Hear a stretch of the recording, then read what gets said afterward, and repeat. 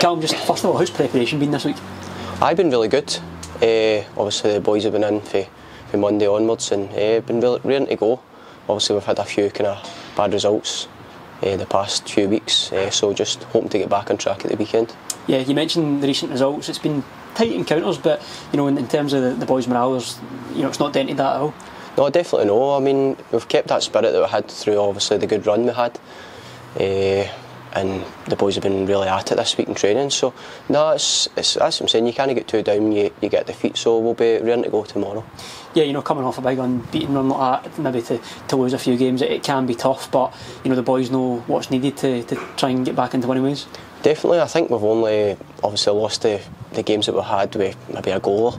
So it's no, there's no much in the games that we've seen when we were winning as well. So I will be, we'll be ready to go tomorrow, and I think the, the boys are happy we're back at Cappielow as well.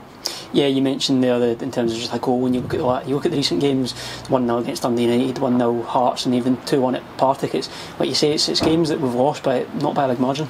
No, exactly. Uh, as I said, we've won games with one goal a lot, uh, so there's no much in the league at all. As you see with the, the table, the, the points between maybe eighth to up to the playoff spots. So uh, aye, there's not much in it, and we know that we only need a few kind of adjustments to, to turn it around. Aye, and in terms of tomorrow's game against Dunfermline, obviously the last time out against them, that 5 0 win, probably the most complete performance of the season so far, but we know it's going to be a completely different game, isn't it?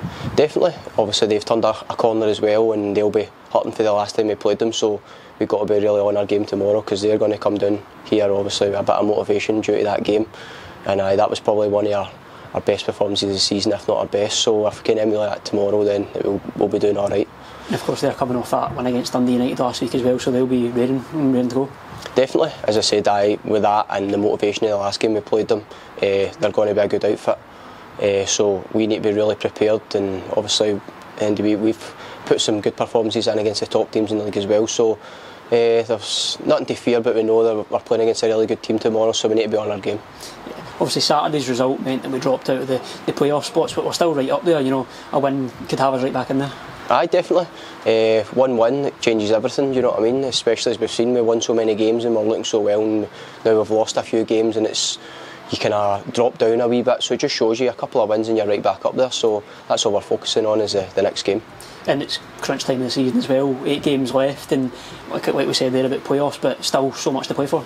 Aye, definitely. Uh, obviously, last year we just missed out, so this year we want to go win better, and there's no reason why we can't. So uh, we've got obviously hopefully a few players coming back within the next few weeks, uh, which would be great to help the team out.